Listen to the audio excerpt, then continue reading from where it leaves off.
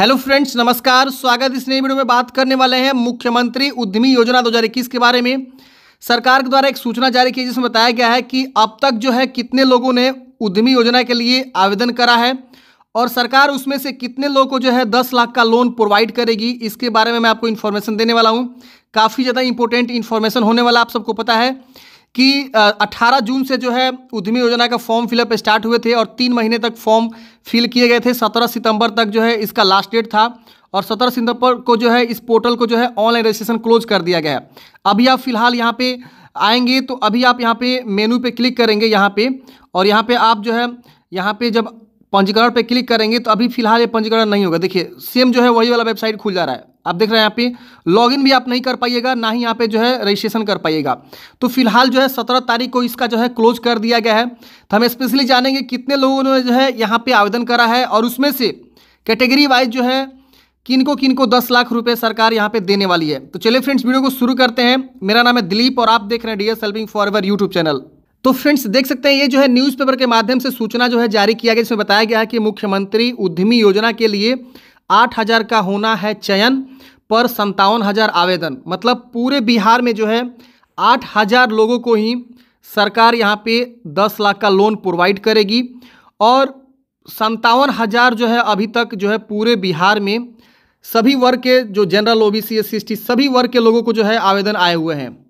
तो आप समझ सकते हैं फ्रेंड्स, मात्र आठ हज़ार लोगों को है यहाँ पे सरकार जो है पैसा देने वाली है दस लाख का, जिसमें से पाँच लाख माफ़ हो जाएगा और पाँच लाख रुपए आपको जो है रिटर्न करने हैं। चौरासी किस्तों में किसी का एक परसेंट का ब्याज है, जो महिला वर्ग है, उनको एक परसेंट का ब्याज नहीं देना है। तो ये जो है, सुविधाएँ यहाँ पे सरकार दे रही थी बट काफ़ी कम अमाउंट में यहाँ पे लोगों का सिलेक्शन किया जाएगा। संतावन हज़ार आवेदन आए हैं, जिसमें से आठ हज़ार लोगों का ही चयन किया जाएगा, और बाकी लोगों का फॉर्म यहाँ पे रिजेक्ट कर दिया जाएगा। अब देखिए, यहाँ पे जो है साफ़ साफ़ बताई गई जानकारी कि महिलाओं के ग्यारह हज़ार छः सौ पच्चीस व युवाओं के पंद्रह आवेदन आए हैं। मुख्यमंत्री महिला उद्यमी योजना के तहत राज्य के ग्यारह महिलाओं व पंद्रह युवाओं ने आवेदन किया है। वही एस सी वर्ग के लिए अलग से योजना है। इसके तहत बारह आवेदन आए।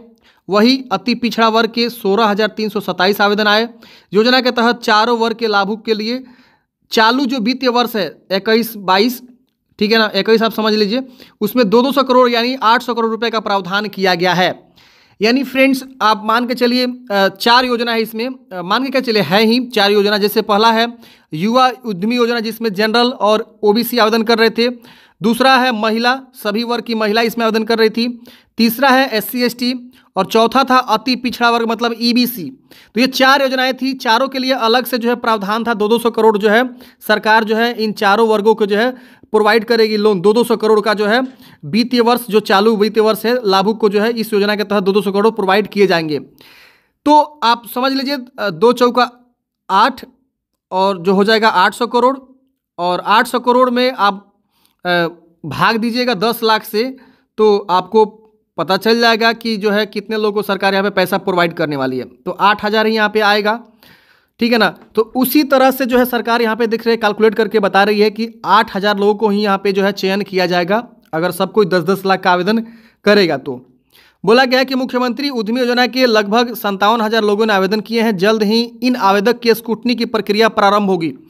तो सरकार यहाँ पे स्कूटनी कर रही है। संतावन हज़ार में से काफ़ी लोग का फॉर्म जो है, गलत भी हो सकता है। तो गलत होने पे जो है, कुछ भी उसमें सुधार नहीं होगा, उसको डायरेक्टली रिजेक्ट कर दिया जाएगा। तो स्कूटनी की प्रक्रिया बहुत ही जल्द प्रारंभ हो जाएगी और आपको मैसेज मिलना शुरू हो जाएगा कि आपका जो है लोन सिलेक्शन हुआ है कि नहीं हुआ है। अभी आप जो है वेबसाइट पर जाएँगे लॉगिन करेंगे तो लॉगिन नहीं हो पाएँगे आप। बोला गया है कि उद्योग विभाग के अपर सचिव अपर मुख्य सचिव की अध्यक्षता वाली कमेटी आवेदकों का चयन करेगी। अब देखिए यहाँ पे किस बेस पे सिलेक्शन किया जाएगा, ये भी कंफर्म नहीं है, क्योंकि सरकार तो ये नहीं बोल रही है कि हम इसको देंगे इसको देंगे। ऐसा तो नहीं है, ना ही इसका कोई जो है परफॉर्मा तैयार किया गया है कि किस माध्यम से, किस प्रोपेगेंडा से, किस प्रक्रिया से जो है सिलेक्शन किया जाएगा। यह बस बोला गया है कि अध्यक्षता बैठी की कमेटी होगी, उस कमेटी में जो है लोगों का चयन किया जाएगा। ठीक है? अब बोला गया मुख्यमंत्री उद्यमी योजना के तहत एस सी पिछड़ा व अति पिछड़ा व सामान्य वर्ग के महिला वर्ग को दो दो हज़ार लाभार्थियों का चयन किया जाएगा। मतलब जो है, सभी अलग अलग मतलब कैटेगरी वाइज जो मैंने आपको चार बताया, चारों में से जो है दो दो हज़ार लोगों का ही चयन किया जाएगा। मतलब सभी वर्ग के लोगों से जो है दो दो हज़ार को जो है चयन किया जाएगा। मतलब महिला उद्यमी योजना से दो हज़ार को चयन किया जाएगा, युवा उद्यमी से दो हज़ार ईबीसी से 2000 एससी से 2000 इस तरह से जो है 8000 लोगों का जो है चयन यहाँ पे किया जाएगा। बोला जा रहा है कि चयनित लाभार्थियों को 10 लाख का ऋण दिए जाएँगे, जिसमें 5 लाख अनुदान और 5 लाख कम ब्याज वाले ऋण के रूप में है। चौरासी आसान किस्तों में लाभुक को यह राशि लौटानी है। एस सी समुदाय के लाभुकों को ब्याज मुक्त ऋण की व्यवस्था की गई है। तो ये फ्रेंड्स जो है न्यूज़ निकल के आ रही थी मुख्यमंत्री उद्यमी योजना के तहत। अब हम फ्रेंड्स आ चुके हैं इसके ऑफिशियली वेबसाइट पे। अभी आप यहाँ पे आएँगे मेनू पे जाएँगे, यहाँ पे आप लॉगिन पे क्लिक करेंगे तो आप जो है लॉगिन नहीं हो पाएँगे। अभी सरकार जो है बहुत ही जल्द स्कूटनी करेगी, अध्यक्षता बैठेगा, उसमें जो है किसको सिलेक्शन किया जाएगा, किसको नहीं किया जाएगा। अब जो है ऑफिसर के हैंड में है, जो उद्योग विभाग है उसके हैंड में है। वो जिसको चाहेगा उसको दे सकता है, जिसको चाहे उसको नहीं दे सकता है, ये डिपेंड करता है। स्कूटनी में काफ़ी संतावन हज़ार फॉर्म तो आ चुके हैं बट स्कूटनी में अगर किसी का फॉर्म गलत पाया जाता है तो उस केस में जो है फॉर्म रिजेक्ट भी होंगे, ठीक है ना? तो अब जो है आपको वेट करना है। अब यहाँ पे मे भी हो सकता है कुछ दिन बाद यहाँ पे स्ट्रेस करने का चेक करने का भी लिंक आ जाए। लेकिन फ़िलहाल अभी आप स्ट्रेस भी नहीं चेक कर सकते हैं। अभी आपको वेट करना है। अगर आपका लोन पास होता है तो आपको जो है मे बी पटना बुलाया जा सकता है। आपको प्रशिक्षण दिया जाएगा।